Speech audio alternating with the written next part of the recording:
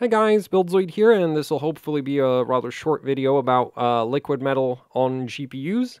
Um, and uh, yeah, let's just get right into it. So first of all, uh, this, what we're looking at right here, is a very low quality picture of an HD 7970 VaporX uh, 3 gig card that I got sent as fan mail because it doesn't run.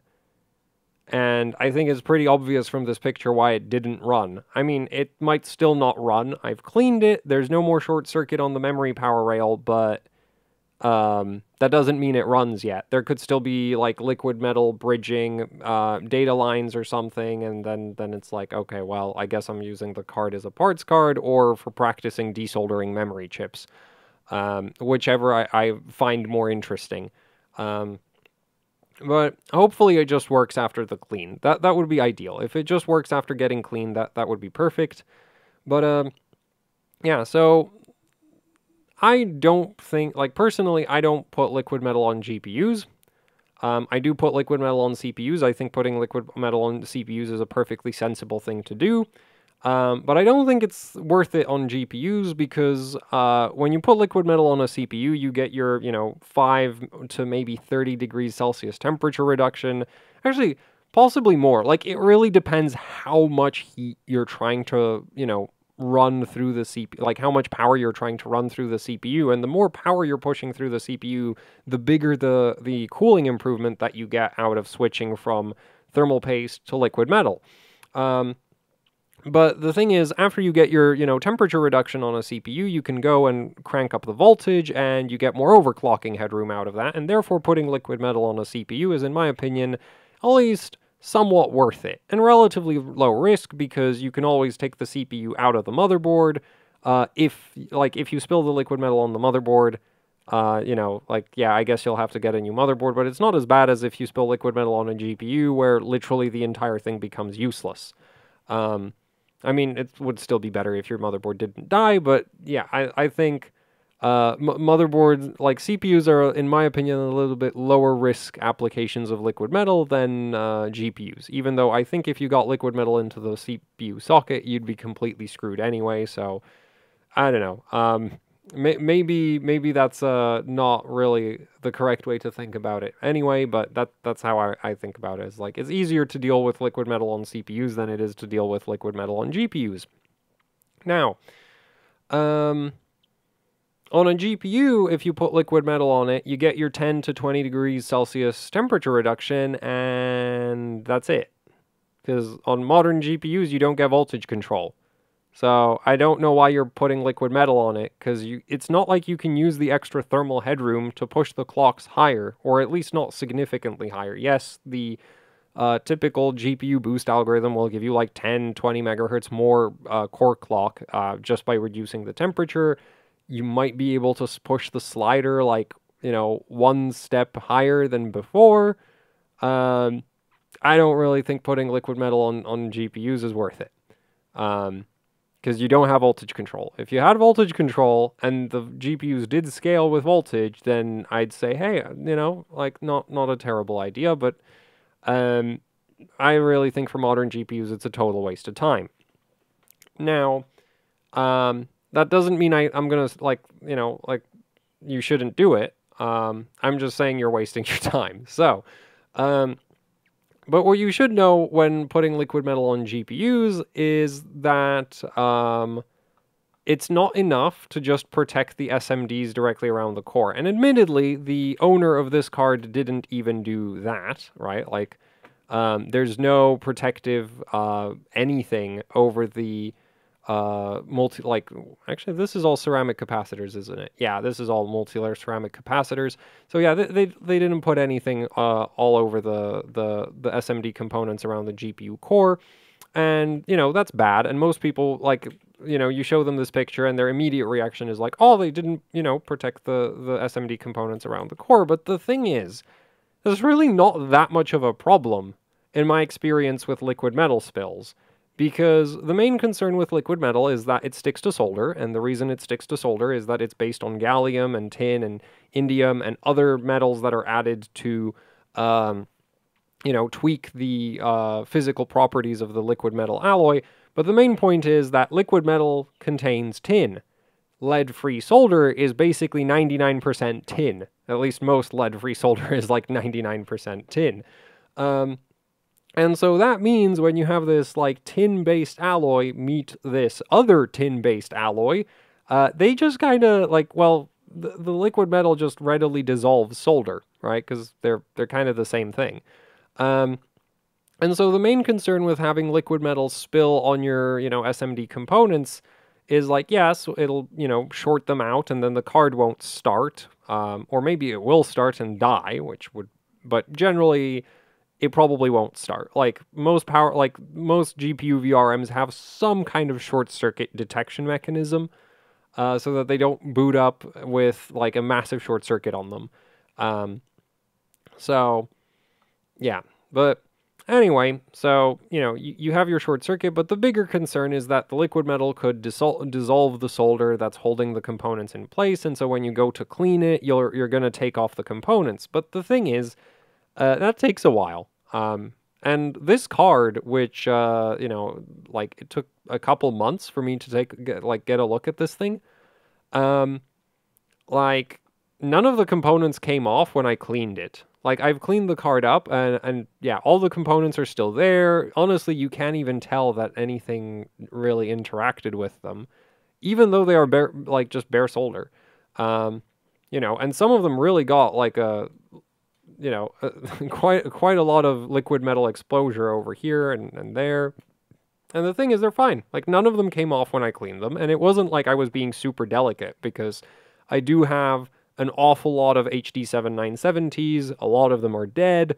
So, you know, if I needed spare capacitors, I, I didn't, didn't really see that as like, okay, I, I didn't see that as a loss. Um, so I really wasn't being super gentle with them, and everything stayed in place. There's nothing fundamentally wrong with it. So the SMDs here actually handled the liquid metal spill really well. I mean, yeah, the card didn't run, but the, this this was fine. No, the part I was really concerned with when I saw this card was this right here. Um, and immediately it might not look like this is really a problem. It's mostly just covering up the solder mask and this one test point over here. But, you know, PCBs, like uh, traces in PCBs are made of copper, so that's not going anywhere. It's not like liquid metal is going to reduce uh, a test point like that into a, uh, in, into a puddle. Um, there, there's not quite enough liquid metal to completely dissolve away that, you know, little copper test pad over there. So that's not really much of a concern. No, the real concern is that that streak of liquid metal is because of this right here. And now this is very bad. Or at least it could be really bad because after I cleaned the card, there's no obvious short circuits on it anymore. Uh, yeah, short circuits on it anymore. So maybe this didn't really get anywhere. Um, but the main concern with something like this is if you get liquid metal under a memory chip or under the GPU core, it's not coming out, right? Because it sticks to solder and there's no way to get at it if it gets far enough under the memory chip.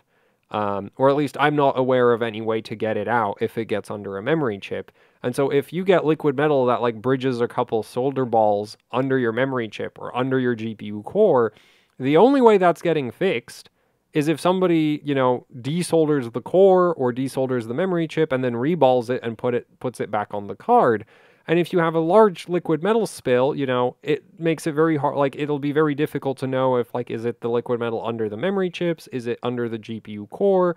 So, you know, th- then then you end up potentially having to like desolder like all of the memory chips and the core because it's just like, well, where did it go? Because the thing is, liquid metal behaves a bit like mercury in that it likes to, you know, form little balls that roll all over the place and get stuck under things and cause havoc um, on electronics.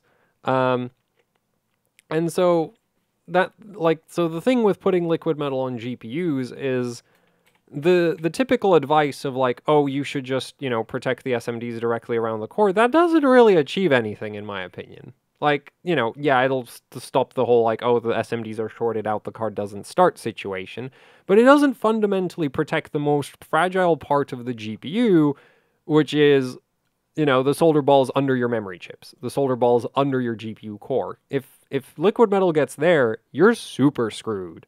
Um, so if you're going to be putting liquid metal on your GPU, you need to do something about the gap under the memory chip. And under the core.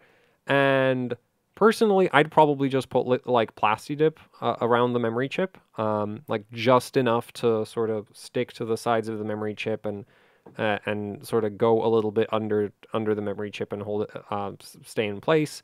Uh, you could probably also use like high temperature silicone. Uh, I guess if you were very handy with hot glue, you could probably form a little barrier around all of the chips with just hot glue. That could also work. Um, yeah, there's, there's like there's a lot of options. You just need something that's not conductive and doesn't have any like one of the concerns would be especially on like high speed memory standards like GDDR6 and GDDR6X. With GDDR5, I don't really think like GDDR5 shouldn't be too sensitive, but um, GDDR6 and GDDR6X might be kind of sensitive to like changes in the capacitance. Uh, like if the material has some weird capacitive properties, that might be a problem. Uh, if you use it on to in, like protect a GDDR6 or GDDR6X memory chip, or even the core, because like ultimately the data, I'm, I don't think the data signals run on the outer edge. They're probably like a couple rows in, but I don't know. Like I, I've unfortunate. Well, I've not really studied the pinout of a uh, GPU core's BGA that much, but anyway, um, yeah. The point is, if you're gonna put liquid metal on your GPU, which I don't really think is worth it because you can't change the voltage after the temperature reduction. You need to protect the BGA um, with something. I don't care what it is, but something, because this is the second time that I've had somebody send in a card with a liquid metal spill. Um, and I think this card got lucky because the other card had a short circuit and it was actually under the core. Like it just wouldn't go away with any amount of cleaning uh, until I went and you know just sort of desoldered the core. If because my theory at that point was like, okay, evidently the liquid metal has to be under the core. There's there's no other reason that the card would still be shorted. Um, and yeah, it was. Um, so yeah, that that's kind of the thing. Is just like if you're putting liquid metal on your GPU, um, you need to protect the BGA. Um, so yeah, and th- this, yeah, and that's kind of that. Like, you really need to protect the BGA, and it, obviously, it's still a good idea to protect the SMDs. But I, I'm far more worried about like memory chips and stuff because, like, admittedly, finding a replacement capacitor for the ones around the GPU core is generally going to be very difficult because I don't know how you'd even get the specs for a lot of them. Um, and some of them can be like uh, signal coupling capacitors, and so if they aren't the right value, that's going to be a major problem. But uh, like the worst case scenario with liquid metal getting some of these components is mostly that the component is to fall off the card. Whereas liquid metal getting under the chip, memory chips or GPU core is like, well, good luck getting it back out. So, yeah, and that's that's all I really. Well, that's most of what I wanted to cover in this video. Other than that, um, yeah, the, the heatsink for this card is uh, well, I'm not going to trust it anymore because this, all of this is like cast aluminum and uh, gallium basically diffuses into aluminum and then breaks up the like crystal structure by sort of like the atoms of gallium basically get in between the the aluminum atoms and then the whole thing just sort of turns into dust. Uh, so this is probably pretty structurally co- compromised in this area, and also it just sort of keeps spreading through the the aluminum over time. So yeah, this this heat sink's probably gone at this point. Um, but hopefully the card still works, and yeah, th- that's that's the main thing I wanted to say in this video. Is like, personally, I don't think putting liquid metal on your GPU is worth it. But if you still want to do it, please protect your memory chips and your GPU core, um, and the SMDs too.